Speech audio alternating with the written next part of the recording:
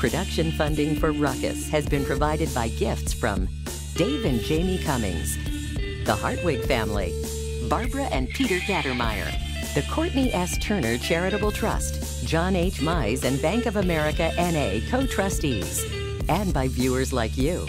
Thank you. Welcome to Ruckus, our weekly food for thought fight over the news of the day and the trends of the times. I'm Mike Shanin. The Ruckettes join me shortly. Our topics this week a new governor, but no stranger to government. A local columnist warns Kansas taxpayers could go crazy. And pundits and pollsters ponder and pontificate about the midterm elections, plus roast and toast. Well, we're going to start with our Newsmaker segment and talk with the newly elected state senator from Missouri's 17th District in Clay County. She is two-term state representative, Democrat Lauren Arthur, who won the June 5th special election by a stunning 19-point victory over Kevin Corlew. Some political observers believe this victory is another early indicator of a blue wave building across the country that will lead Democrats to success in the midterm elections.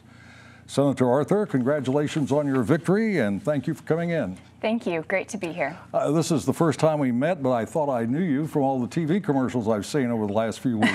I think everyone is glad that the election is over so they don't have to see any more political ads. As I mentioned in the introduction, there are those who think your victory is indicative of a blue wave, not your victory alone, but your victory and others across the country indicate a blue wave, Democrats having great success in the midterm elections. Do you feel that's going to be the case? I think it demonstrates that there's a lot of energy and momentum on our side. People are really motivated to show up and vote. But Beyond that, I think this election tells us that when we have candidates who run and show up and work hard um, you know, our, our success really depend, depended on our volunteer effort. And we had people knocking doors, families coming together on weekends to canvass neighborhoods. We had people across the state writing postcards, making phone calls into the district. So if we work hard, um, then I think that hard work will pay off. Uh, this is not the first time you've run for office. You've served in the Missouri House. Uh, you're on your second term, I believe. That's right, yes. Uh, will you be sworn in in January in the Senate, or have you already been sworn in? I haven't been sworn in yet. I'm, I'm still finishing out my term as the state representative. A date has not yet been set in terms of um, swearing me in, but we're working through that right now. Your election occurred during the Greitens impeachment discussions and uh, a lot of criticism of the former governor and his party. Do you think that played any role in your success? Uh, you know, I think it was certainly on voters' minds. People on the doors would talk about Eric Greitens and ask why he was still in office, um, and none of us had a great answer to that question.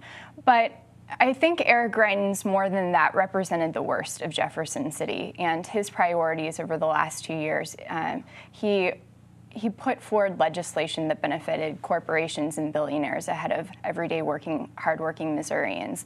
And I think um, a lot of his legislative decisions also inspired people to come out and vote against what they had seen in Jefferson what City. What do you think of Mike Parson, the lieutenant governor who is now governor? He seems to be reaching out to uh, local officials and to the news media and the congressional delegation. Do you have a better view of him? Sure. I received a phone call from him right. on election night, and so I thought that was a very gracious gesture. We've actually sat down and discussed his top priorities for the state. I think he has an earnest interest in trying to tackle some of our state's toughest problems.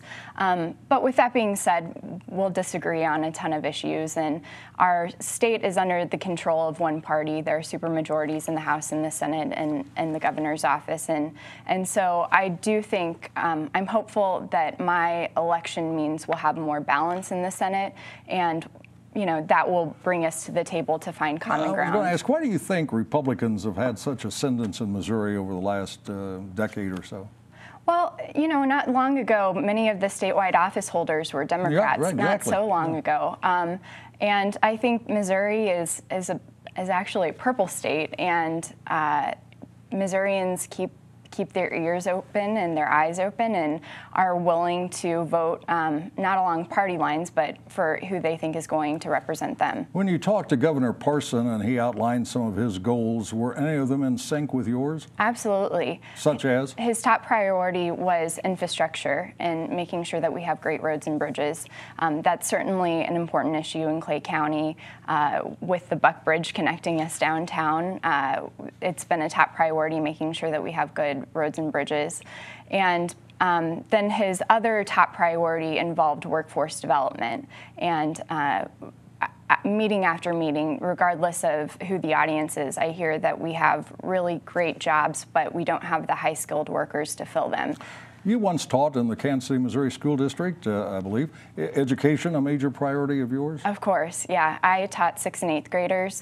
Um, I believe that education is the key to helping people achieve the American dream, and so um, making sure that every child in the state has great educational opportunities is my top priority. And you're big on labor rights. That's right. Labor movement. Yeah, absolutely. They. Um, with we, over the last several years, we've seen attacks against working families and making sure that uh, uh, you know over the last few years we've also seen that employers seem to have more power and employees seem to have fewer rights and making sure that there's balance. And right to work will be on the ballot in November. Right. Pleasure meeting you. Thank you very much for coming in. Good luck in your Senate career. Thank you. Nice to meet you. That is the newly elected Missouri State Senator Lauren Arthur. Now let's meet the panel and start a ruckus.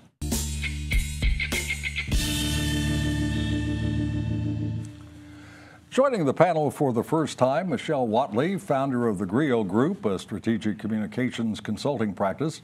Steve Rose is not joining the panel for the first time, maybe the 500th. He's a Johnson County civic leader and Kansas City Star columnist. Attorney Jim Heeter is a former councilman, former CEO of the Greater Kansas City Chamber, and Ron Freeman is a motivational speaker and writer. Welcome to all of you, and especially to Michelle making her first appearance on the program. Good to have you with us. We have been off for several weeks, so there is a lot to talk about, and we'll start in Missouri. Until June the 1st at 5 p.m., Eric Greitens was governor of the Show Me State, elected in November 2016. He stood accused of several crimes and repeatedly proclaimed his innocence. But facing probable impeachment and perhaps conviction, Greitens resigned. The Lieutenant Governor, Mike Parson, like Greitens, a Republican, was sworn in for the remainder of Greitens' term. Although new as governor, Parson is no stranger to or in the state capitol. He served stints in both houses of the legislature and also served as a county sheriff. So now that Greitens is out and Parson is in, there's a lot to talk about. Let's start with this. Will having a new governor make any significant difference in the life of a typical Missourian? And we will start with someone who is an atypical Missourian, uh, Jim Heeter. Mike, I think uh, I think Governor Parson will make a big difference in the lives of the typical Missourian. Uh, I think the comparison between Eric Greitens and uh, Mike Parson is enormous. Um, I, I, think uh, Governor then Governor Greitens showed um, um, plainly that. He was interested in presidential politics. He was looking beyond, and Mike Parson, I think, is interested in, in state government, in Missouri state government. He's an experienced pro. I'll just give one example of that, and that is uh, infrastructure, our roads, our bridges, our highways. Um, Greitens steered away completely from anything that smacked of a possible increase in the gas tank gas tax, which is the, the, the most obvious way to pay for road, bridge, highway improvements in the state of Missouri. And Mike Parson has already endorsed that concept because he cares about those things. He cares about the basic things that state government is supposed to do. So I think he will make a big difference in the life of the typical Missourian. That gas tax is being talked about as a 10, percent, a 10 cent increase. It's actually two and a half cents each year over four years, right? That, that's correct. It's a relatively modest increase, but it'll go a long way toward badly needed impro- improvements in Missouri's highways, bridges, uh, and, and roads. Ron, it looks like all the legal charges against Greitens have been dropped. Was this a fair outcome for him and for the residents of Missouri? Well, I think it's a fair outcome, but I do think going back to the whether or not it makes any difference in the lives of everyday Missourian, I don't, I don't think it really does in the sense of uh, we live our lives as free citizens and make choices at home that determine our lives, not necessarily what goes on in Jefferson City. But in regards to Greitens, he obviously made some decisions that cost him his, his job as governor, and I think it was a fair decision. But Steve, he hasn't been convicted of anything in a court of law, has he? No, and uh, as we were talking earlier, Richard Nixon was never convicted in a court of law either. Um, but but the Missouri legislature did not even pass articles of impeachment. No, they didn't. But I think that Mr. Greitens saw it coming. Uh, there were so many charges, and they had such legs to them uh, that I think he saw the handwriting on the wall, and and uh, I know I felt all along, not all along, but when he got started multiplying his problems, that he he had to quit at some point. Michelle, I know you pay attention to politics and work in that area. Is the Greitens case going to hurt uh, state and national Republicans in the fall elections in Missouri? I think it'll definitely have an impact. At the end of the day, um, I think that Lauren MacArthur's race was very much helped by the controversy that Greitens, you know, has been going through. Um, but when you look at the midterm elections, we're about five minutes away from that. That's a lot of time in politics, and that's a lot of time for other controversies to rise up uh, that will take precedence. And that's a lot of time for voters to kind of forget about what's gone on in the last few months. Jim, you're an attorney. Uh, are you surprised that the local prosecutor, Jean Peters Baker, who was asked to be a special prosecutor in the Greitens case, at least one of them, the invasion of privacy felony, decided not to file another charge? Mike, I'm not surprised at that, and the reason for that is that I think um, Prosecutor Jean Peters Baker knew that she had a very uncooperative witness. She had a witness that really didn't want to pursue this case, and most of the evidence was going to hinge on that witness's testimony. I think that the bottom line, that was a big factor in her decision not to prosecute. There was some talk that the new governor, Mike Parson, is considering a pardon for Eric Greitens. Would that be a smart move for him? I think it'd be a terrible move for Governor Mike Parson. I think I think Governor Parson's off to a really good start as he does the listening tour around the state of Missouri. Uh, I, I, think he, it bodes well for his tenure as Missouri governor. I think that if he pardoned Eric Greitens uh, on any front, that would undo all of that goodwill and put him in a political hole. And we don't know that he's facing any charges. But he hasn't now. been convicted yet. So, oh, well, he hasn't been the, convicted. The dark, the dark money issue is really yeah. the, the key factor. If that goes away, this is just a political witch hunt. Just very quickly, well, Jim, I know you deal with Mayor James quite a lot. You're good friends, and uh, I, I, think he was impressed that uh, the new governor came to Kansas City and met with him and other civic leaders. I think he was impressed, and I think that we were all impressed because, in fact, we didn't see that kind of presence from then Governor Eric Greitens during the the, the, the, time that he served as governor, we really never saw him in Kansas City. I think our friends in St. Louis would say about the same thing, but we certainly never saw him in Kansas City. And so it's, uh, it bodes well for Kansas City that Mike Parson came here and listened. When you're impressed, that means something. you're kind. All right, going to move on. Kansas City Star columnist Steve Rose, who is with us, has issued a stern warning to the justices of the Kansas Supreme Court. Be prudent in your next ruling on school finance go too far, and I'm going to quote now, the taxpayers of Kansas could go crazy. Rose warns a massive demand for more money would cause substantial tax increases at both the state and local levels and cause taxpayers to consider changing the state constitution and curb the high court's control. The Star columnist says in this rare instance, the court should listen to and pay attention to public opinion. So, Steve, clarify for us what will cause the Kansas taxpayers to lose their sanity.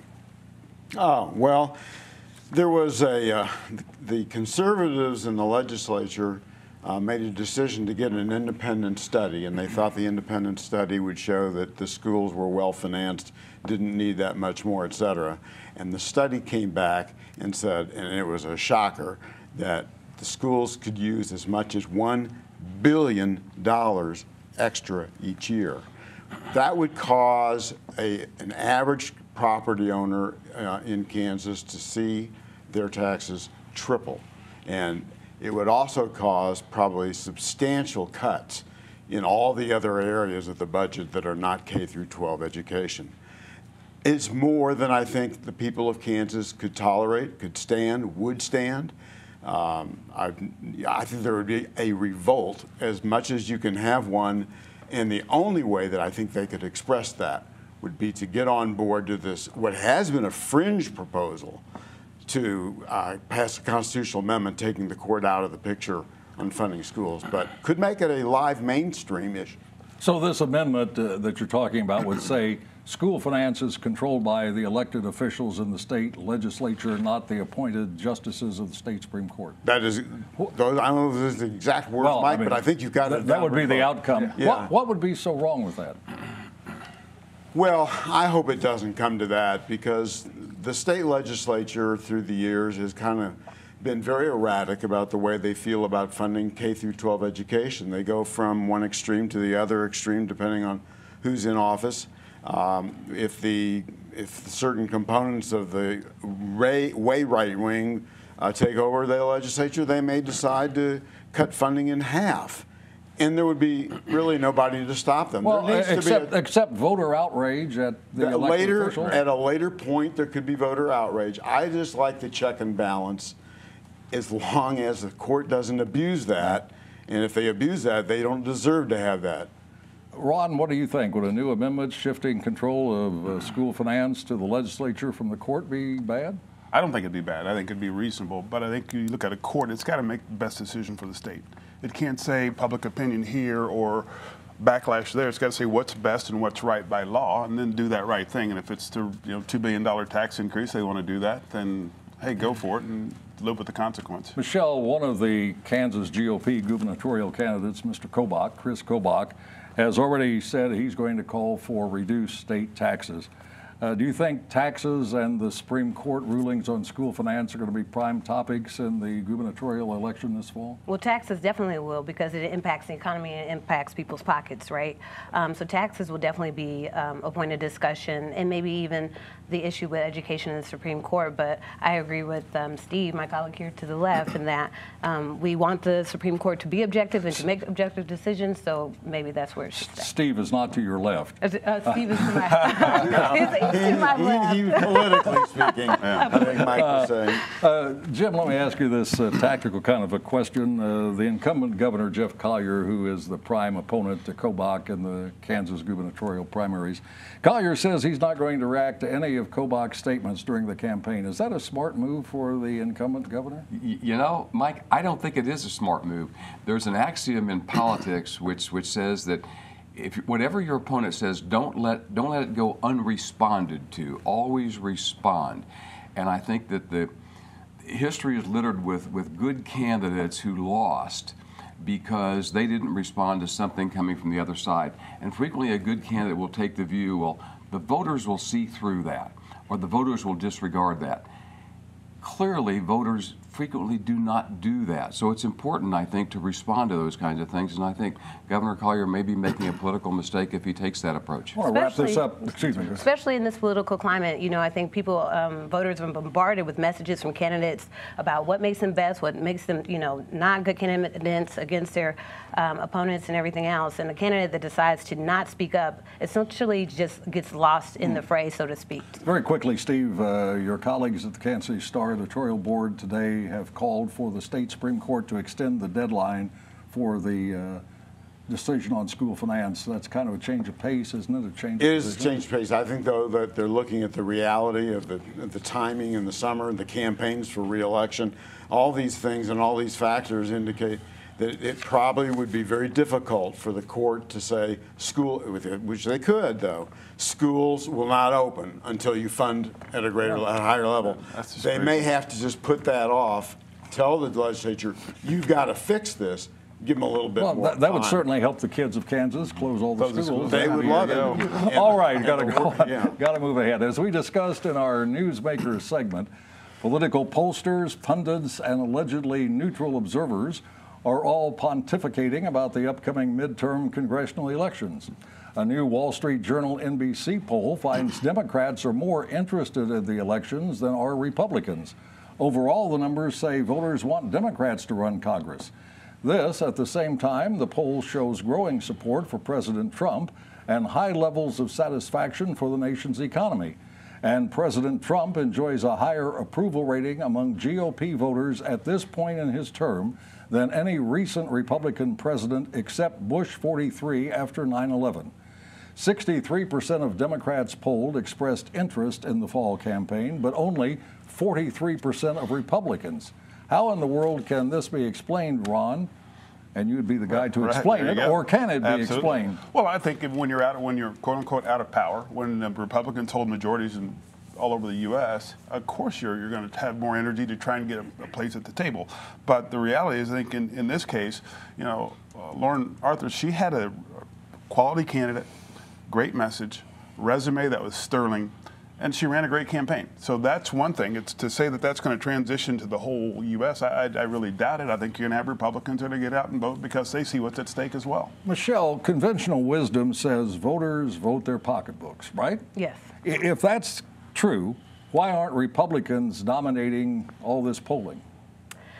I think because at the, again, while you know it's about the economy, uh, I think that Republican candidates at the state level and the president, again, all of the drama, all of the you know controversies across the board has made it, I think, difficult for Republicans to maybe get in line or get at the at the grassroots level to get in line behind these candidates and to support them in ways that you would expect. Uh, that correlate with the polling. Same question to you, Yeah, Steve. I, well, I would say this: the intensity of the approval or disapproval rating, I think, is very, very important. So, 87% of Republicans say they approve of the president. How strongly do they approve? Will they get out and vote because they so strongly approve? Because on the other side, where only 5% of the Democrats like him, the other the 95% uh, who detest him are going to get out and vote and vote strong, stro- strong and big. So I would say you have to look out for the turnout. Uh, the polls are important, but the turnout could turn these polls inside out.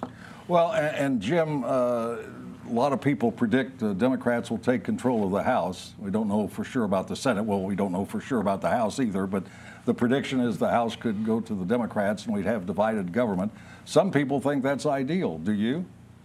I think it would make a lot of sense, uh, particularly in, in this political environment, for, for there to be um, control of the House by, by, the, by the party that's out of power in the White House, um, and possibly the control of the Senate as well, but certainly in the House. Uh, I think that would be good for America. That would be good for, for government, and um, I, I think that's what's going to happen. Although, there's, as Michelle pointed out a few minutes Yeah. ago, we're still a long way from the But, November but, elections. but when that happened, people complain now that nothing gets done, that Republicans haven't gotten anything done, even though they control the White House and both houses of Congress. If you have Democrats controlling one house and Republicans controlling another, nothing's going to get done in the future. Well, it's kind of interesting because not much is getting done Well, that's right what I now said. the Republicans controlling the House, the exactly. Senate, so if, if you House. divide the the, the uh, control, the same will continue, right? Well, not necessarily. Ironically, what you might have is with a, a Democratic House and a Republican Senate, you might actually have the basis of some kind of compromise that could be approved by the White House on certain key issues. But the, the reality is that, that however the 2018 elections go, it'll just be the first step toward the 2020 presidential elections. If Democrats, Steve, take control of the House, will the first thing they do is file impeachment uh, papers against Trump? No, I, I don't think that they will. I think there is a, uh, certainly the more liberal wing will push hard for impeachment, but I don't think there's a consensus among uh, the majority of Democrats who will be represented to go forward with impeachment. On, and I'm going to have to put an asterisk unless there is tremendous evidence that comes out between now and then that goes points right to President Trump as having intervened with the and with the Russians in the election. If it if something like that, a Watergate type uh, uh, inflection point occurs, then then they might. Haven't seen it yet, though. Ha- it- no. Unless it's, seen it uh, this is Thursday morning, who knows? By the time this is on the air Thursday evening and Sunday, uh, the whole world may have changed. Anyway, it's time to go to the soapbox for Roast and Toast, where the Ruckheads have 30 seconds each to celebrate, devastate, or contemplate. And let's start with Jim. Mike, I'd like to toast the Kansas City Symphony. Its uh, board chair, Bill Lyons, its executive director, Frank Byrne, its musical director, Michael Stern, and all of its extraordinarily talented musicians. This weekend represents the finale performance of the 2017 2018 uh, season for the Kansas City Symphony in Helzberg Hall, and it's been another fabulous season. And I just love the way the Kansas City Symphony has been adopted by Kansas Cityans as one of the great cultural assets of the community. It's part of what it makes us a very, very special, not only arts town, but a very special place to live. So a toast to the Kansas City Symphony. And Symphony. we just saw the big Memorial Day concert here on KCPT. Indeed. One of the things I'm so proud of our symphony for doing is going out into the community for events like Celebration at the Station and other events. So it's not just Helzberg Hall, as special as that is, it's in the community as well. All right, Michelle. I want to give a toast to black women in leadership. Um, if you look at some of the events that have taken place both nationally and here um, locally, uh, with Channing Dungey over at ABC canceling the Roseanne show swiftly and, and condemning the actions of Roseanne, and Kim Gardner bringing about the charges against Greitens that eventually led to his resignation. Black women um, in the position of power for the first time have uh, shown how they lead uh, and what happens when hashtag Black Women Lead. All right, Ron Freeman. I'm going to roast the media. How about uh, us for uh, our position hip- hypocrisy when it comes to North Korea in the sense of when President Obama engaged, uh, it was celebrated by the media. When President Trump, it's somehow skeptical and, and questionable. I think we just need to step back, wait, and see what happens. Uh, if something positive goes forward for America, it's a great deal. If not, you know, the media doesn't have to tell us what might happen. Steve Rose. So our U.S. Senator from Missouri, Claire McCaskill, is normally a very, very shrewd and clever and adept politician. So how in the world she got herself into a situation of going on an RV tour and then using her private plane in the midst of that tour, she has now been caught in something that can be very embarrassing, and Donald Trump has already called her Air Claire, you know, and that could stick because this is this is a really stupid move on her part. All right, and finally, here's a toast to a BBC reporter who coined a term for products affected by the new U.S. policy on taxing imports. The reporter listed the products, the various products, and said all of them are now terrified. And that's Ruckus for this week. We're back next Thursday at 7. Now for the Ruckettes and the crew, I'm Mike Shanin saying thanks very much for watching and good night.